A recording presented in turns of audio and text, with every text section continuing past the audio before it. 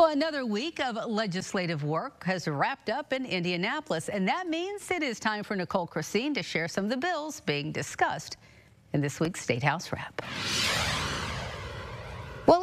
This week's State House wrap with an update, albeit a short one, on legislation aiming to expand I-70. Local Representative Tonya Pfaff authored the bill, which would expand I-70 to three lanes across the state. The bill hasn't gained much traction in Indianapolis yet and still sits in the House Committee on Roads and Transportation. Budgeting is expected to be a major factor in the conversation.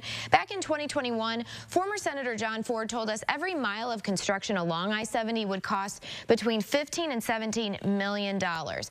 The bill does have a lot of support in the Vigo County community, though, especially with the Terre Haute Casino Resort expecting to draw in visitors who will likely take the highway during their visit. The next bill we're highlighting this week continues a conversation between the state's environmental community and the building industry regarding Indiana's wetlands. The House bill, authored by local Representative Alan Morrison, aims to change some of the classifications of wetlands and is in response to the Supreme Court's recent decision to limit federal regulation of those wetlands. By redefining what wetlands fall under certain classifications, critics fear the bill reduces protections for some of those places. The legislation is already already passed through the House and has been sponsored by local Senator Greg Goode as it awaits discussion in the Senate. And sex education is being discussed this legislative session.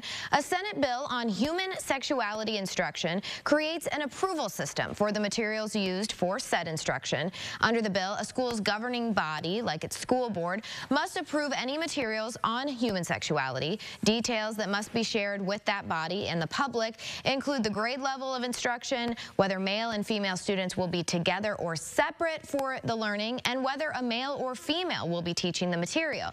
Materials must also be published online for parents and other stakeholders to view. The bill is currently under review in the Senate Committee on Education and Career Development. And a reminder, the Indiana legislative session to wrap up in March.